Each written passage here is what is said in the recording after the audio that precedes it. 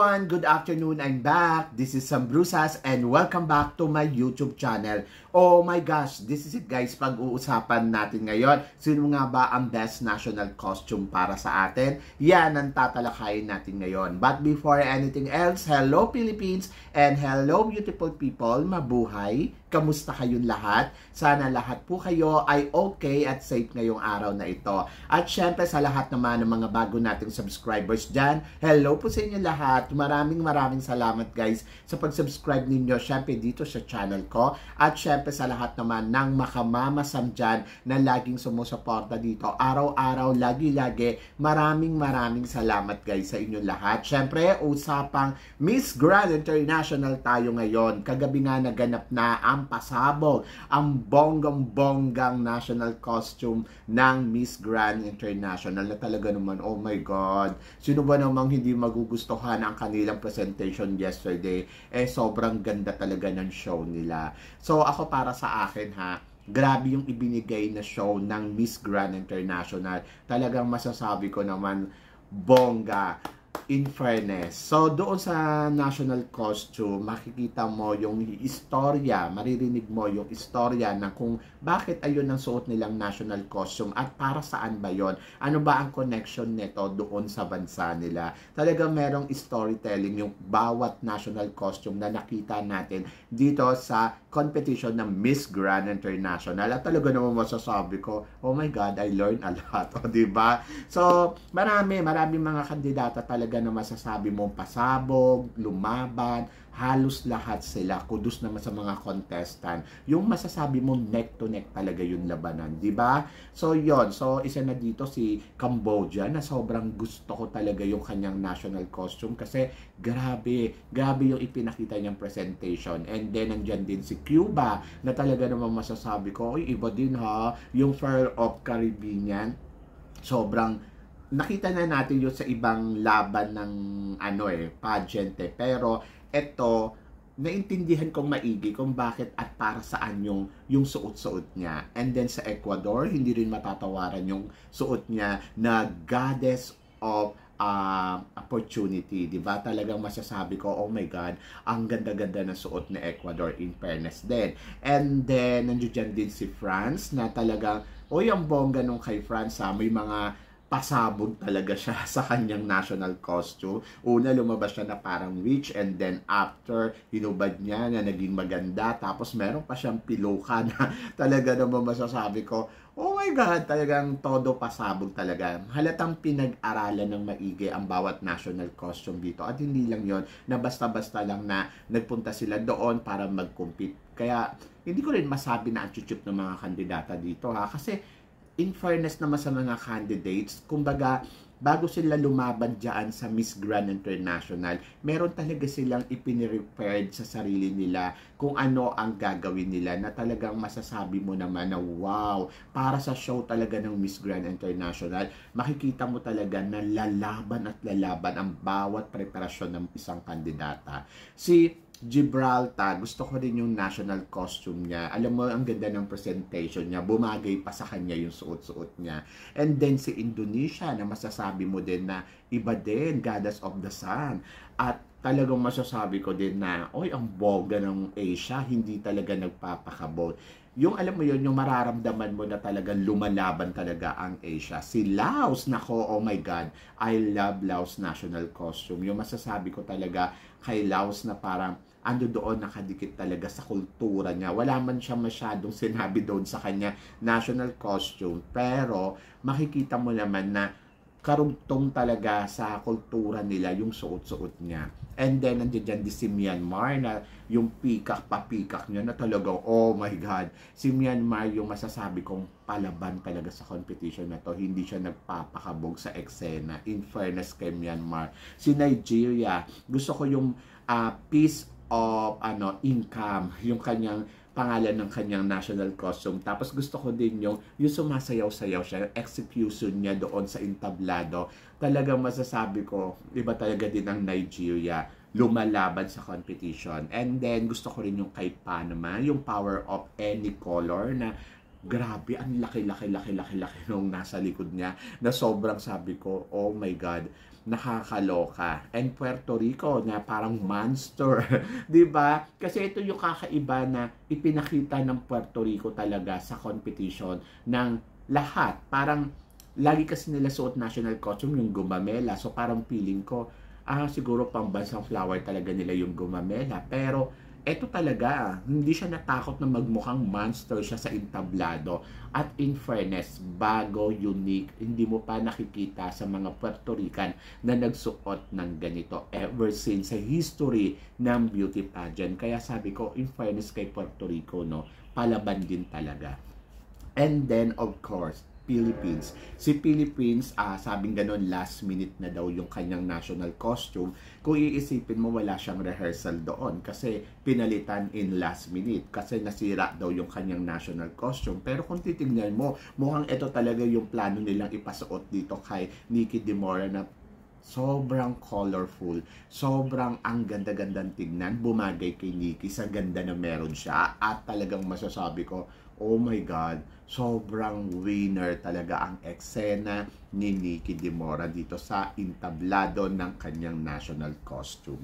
But, sino, at sino ba yung mga napili natin na talaga masasabi mo, oh my God, gustong gusto ko yung national costume nila at for sure nagustuhan mo din. So, syempre, namili ako ng top 13 na kung saan talaga ay masasabi ko na nagustuhan mo rin for sure yung mga napili kong top 13 dito na best national costume. So guys, simulan na natin. So para sa akin, sa number 13 spot, gusto ko yung national costume ni Cambodia. Yes! Cambodia na talagang masasabi ko na alam mo yun yung siko. Yung siko kasi related yon sa kultura nila noong noon pa. Ayun kasi yung ginagamit nilang sasakyan noon doon sa kanilang ano country. So dinala niya dito sa Miss Grand para ipakita sa atin lahat kung ano nga ba ang merong sasakyan ang Cambodia noong panahon. Kaya para sa akin, nagustuhan ko yung eksena niya at nagustuhan ko din kung paano niya yung present yung kanyang national costume. Yung execution na tinatawag ay talaga namang masasabi ko, wow, ang bongga dito ni Cambodia. And then, number 12 spot naman para sa akin, syempre si Miss Peru. Gusto ko yung pa-butterfly ni Miss Peru.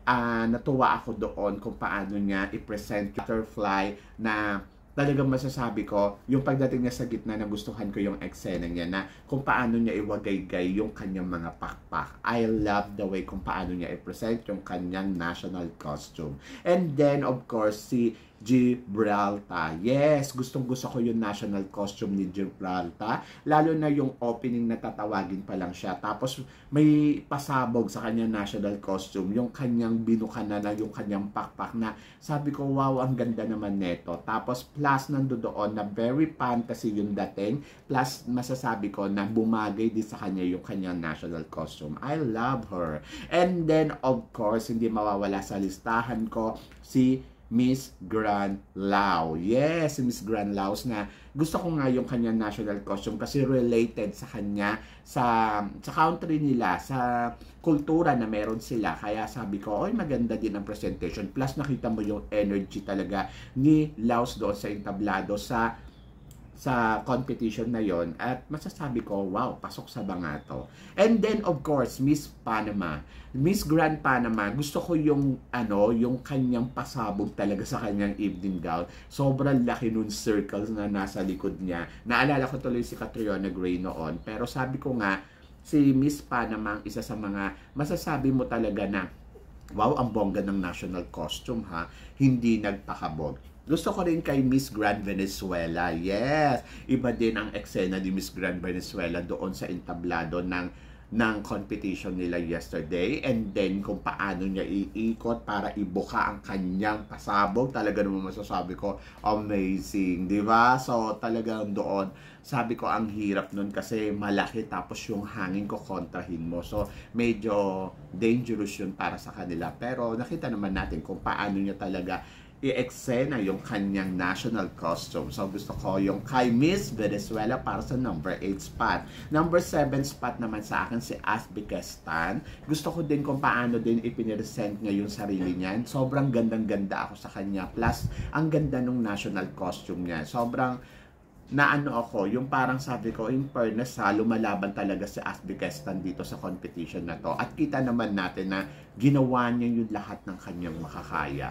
Gusto ko din yung national costume ni Miss Myanmar. Yes! Miss Myanmar, iba din yung eksena, iba din yung pasabog, iba din yung talagang masasabi ko na, oh my God, si Myanmar, bigay na bigay na talaga. Yung alam mo yun, yung tinotodo niya talaga yung laban niya. Nakita naman natin na kung paano niya i-present, kung paano siya tumingin sa camera. Talaga nandoon talaga na, sabi ko, grabe si Myanmar ha, nakikipagpukpukan talaga sa competition na to. Nakakaloka siya. And then, of course, para naman sa number 4 spot, ay si Miss Puerto Rico. Yes, Puerto Rico na masasabi ko din na iba din talaga ang eksena ni Puerto Rico sa competition na to. Tulad ng sabi ko kanina, siya yung sa ano, siya ang kauna-unahang Puerto Rican na nag-present ng national costume nakakaiba. Hindi siya natakot kung magmukhang monster siya doon sa stage pero nakita naman natin yung galawan niya, kung paano niya ipaluto, talagang winner.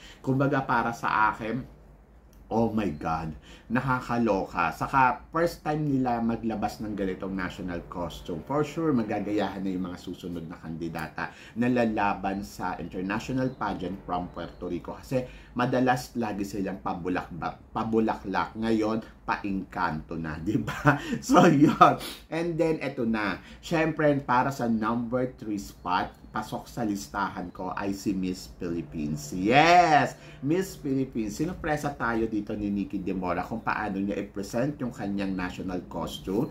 In fairness, nakita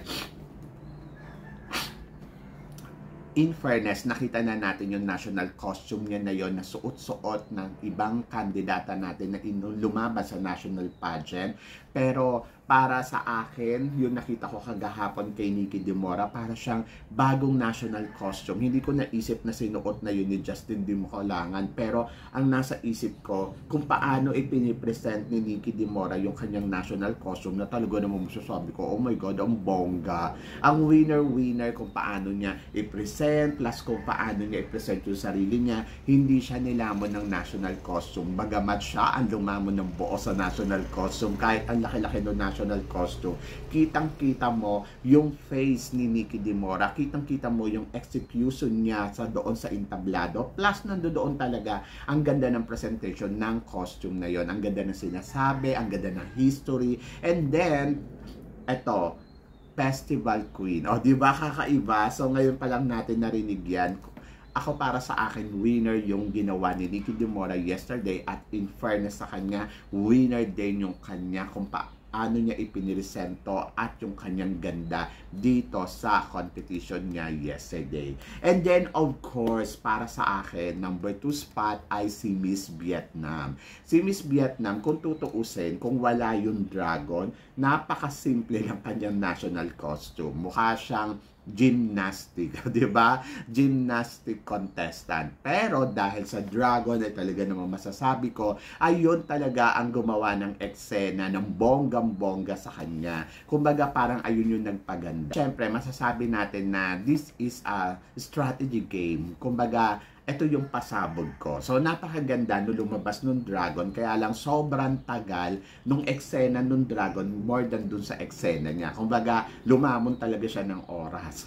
At nakita naman natin na talagang lahat talaga ng Vietnamese ay talagang nagpalakpakan. Maganda ang presentation ni Miss Vietnam, kaya masasabi ko, okay, you are number two spot para sa akin. Ba?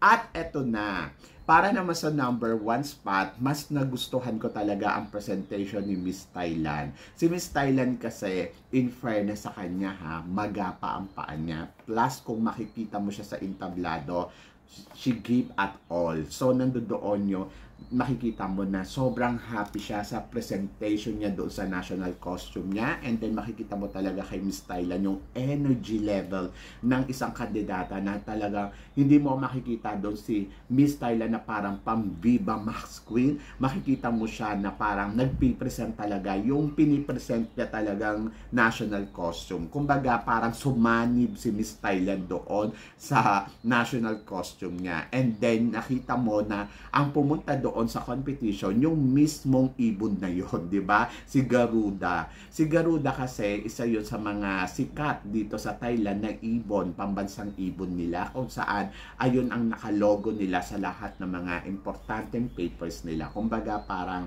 nasa passport siya, nasa ano harapan din ng passport nila. Ayun ay si Garuda, yung kanilang national na para siyang eagle sa atin. Pero ito kasi Garuda ang tawag nila dyan. Yung may historya si Garuda. Eh.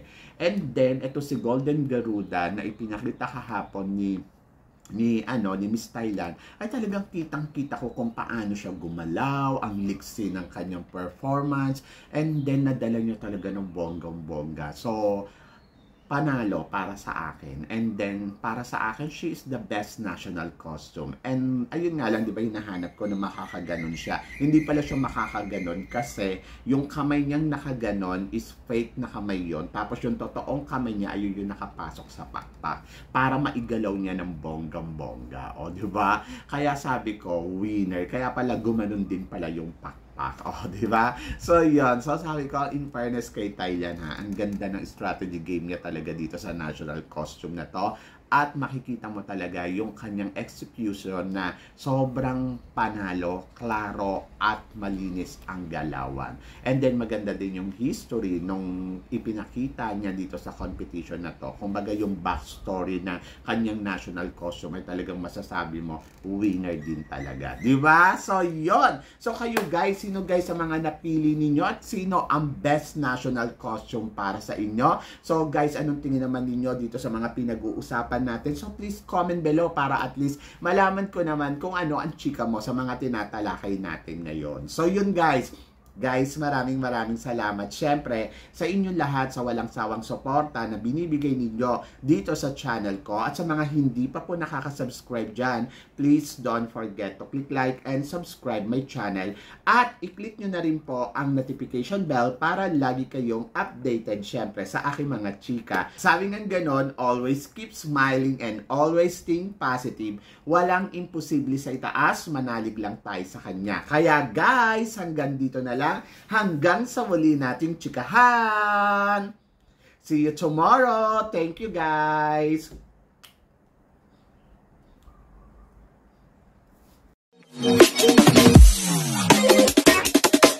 Thank you.